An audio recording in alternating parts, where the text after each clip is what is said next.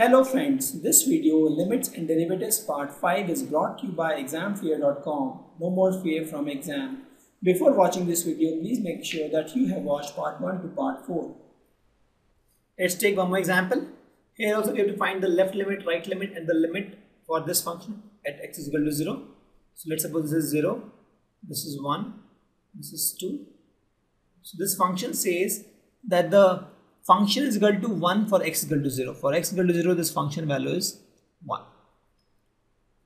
Because this is 1, this is 2, this is 3. And any other value of this x, you take 1, you can take minus 1, you get 2, any value, this value is 2.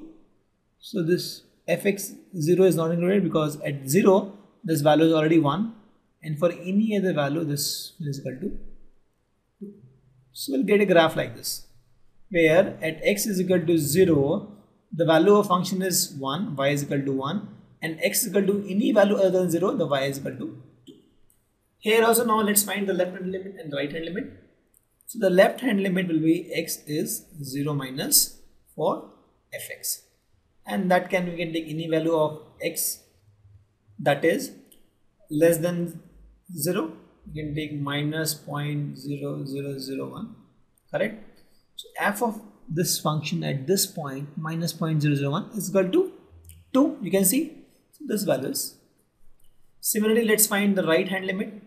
That is limit of x 0 plus. We are approaching this from the right side. So we can of fx we can assume this value as f of let's suppose plus 0.0001 because this point is plus 0.001 let's suppose we can take plus 0.002 also we can take any value. That is near to 0 and greater than 0 this for this value also you see the y is equal to 2 so here we see that left limit is equal to right limit. Correct? We can see that? Because the left limit here is 2 and right limit here is 2 so we can say that limit x is tending to 0 for fx this exists right? So if this exists the value of this is nothing but 2 why? Because that is equal to left limit or right limit. Since both are equal so we can take any value. Here we have to find the left limit right limit and limit at x equal to pi by 2 for sine x. So this is 0 and let me assume this is pi by 2 and then this is so if you know that sine of x sine 0 is 0 sine pi by 2 is let's 1 so let me suppose this is 1 actually. This guy is 1 and then again sine pi is 0 so this function is something like this. You know the sine function? Sine function is something like this. It will again go to this like this. Correct now we have to find the limit at x is equal to pi by 2 so let's approach this from the left hand side. So what we get is limit x tends to pi by 2 minus of f of x is equal to nothing but f of pi by 2 minus 0 0.001 let's suppose.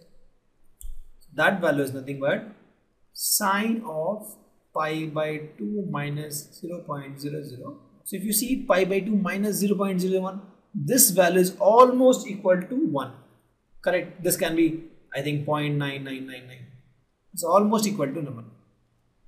This value if you see. Similarly let's find the right limit. Right limit is x tends to pi by 2 plus of fx this is nothing but f of pi by 2 plus 0.001 or you can say plus 0.0001 also. We just need some value that is near to pi by 2 and that is greater than pi by 2 this is nothing but sine of pi by 2 plus 0.0001 this is pi by 2 plus 0.001 this point here. And for this point you see it's little less than 1 and we can say that is also equal to 0.999 almost and that value is almost equal to 1. So here also if you see that the left limit is equal to right limit. Correct? Since the left limit equal to right limit we can say that limit x tends to pi by 2 of fx exists. And since this limit exists its value is nothing but 1 we can take any of these values. What we have done we have found the left limit we have found the right limit and we found that both are almost equal to 1 and we told that left limit is equal to right limit so the limit exists and the value is 1 we'll take one more example. Here also we have to find the left limit right limit and the limit at x is equal to 0 for this function. Fx x is equal to minus 4 where x is less than 4 x is equal to 0 for x equal to 0 and x is equal to x plus 3 y is equal to x plus 3 for x is greater than 0 so let's draw first for x equal to 0 so we get this point 0 comma 0 let's draw for x greater than 0 so for 1 this will be 1 plus 3 is equal to 4 so let's suppose this value is 2 this is 4 this is 6 this is 8 so for 1 this value is 4 for this is 1 this is 2 this is 3 this is minus 1 for 2 the value is 2 plus 3 that is 5 be somewhere else for 3 the value is 3 plus 3 6 3 the value is 3 plus sorry plus. For 1 the value is 1 plus 3 4 this is somewhere here it's not the point. For 3 the value is 3 plus 3 that is 6 so we get a graph like this. We get a graph like this but for 0 this is not valid. So we'll put a hollow circle here. This is the graph for any number greater than 0 for x equal to 1 you get 1 plus 3 that is 4 for x equal to 2 you get 2 plus 3 that is 5 2 plus 3 is 5 x equal to 3 you get 3 plus 3 that is 6 now let's draw for negative 1 x equal to minus 1 this value is minus 1 minus 4 that is minus 5 x equal to minus 2 this is minus 2 minus 4 this is minus 6 x equal to minus 3 you get minus 3 minus 4 that is minus 7 this is the value we get for various values of x. So x equal to minus 1 you get minus 5 so this is minus 2 minus 4 minus 5 minus 6 sorry. This is minus 8 so x equal to minus 1 you get minus 5 so minus 5 is somewhere here. X equal to minus 2 you get minus 6 this is minus 6 and then you get minus 7 here. This is minus 7 and then you get minus 8 I think. So if you see this graph this is somewhere here. This graph will be something like this. And x is equal to for 0 this won't touch actually. This will be something like this so what we have done this x equal to 0 this value is 0 x is equal to 0 0.001 also this this equation is used.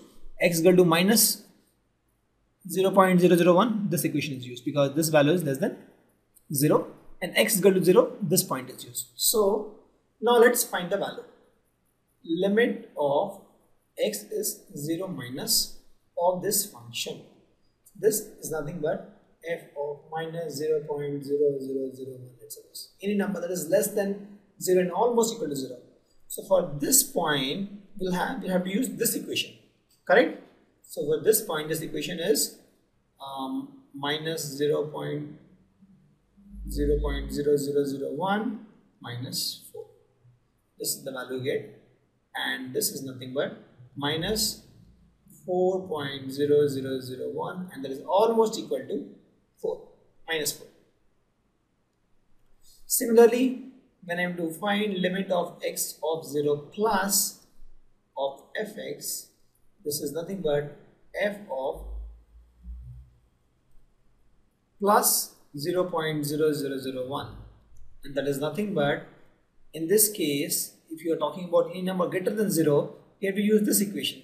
So this is nothing but 0.0001 plus 3 right because x plus 3 is the equation and this value is 3.0001 is almost equal to 3 so when here we see this value is minus 4 and this value is 3 so here we can say that left limit is not equal to sorry only is not equal to right limit. Correct? Left limit is not equal to right limit. Since left limit is not equal to right limit, I can say that limit of x tends to 0 for fx does not exist. Here is not exist or not defined. Correct? What we have done, we have just plotted the graph. We have found left limit and right limit. And we found that left limit and right limit are not equal. So we can say that this for this function at x equal to 0, the limit doesn't exist. But if you want to find the value for x equal to 2 or x equal to 3 or minus 1 minus 2, for those point, this limit will exist. But for x equal to 0, it does not exist. Also, we can see from the graph also from at x equal to 0, there is a broken thing. It is not continuous. So we can observe that for any point in the graph, if it is continuous, for example, at x equal to 3, it is continuous. So for this point, the limit will exist. For x equal to 2, it is continuous. So at this point also the limit will exist. But for any point where it is not continuous or not defined, at those points, the limit doesn't exist. For example, in this case also, at x equal to 2, since the graph is not continuous, the limit doesn't exist. Thank you. Visit examfear.com to watch free educational videos, try free online tests, get the best quality study materials, study from the best tutors and mentors, and much more. Thanks once again.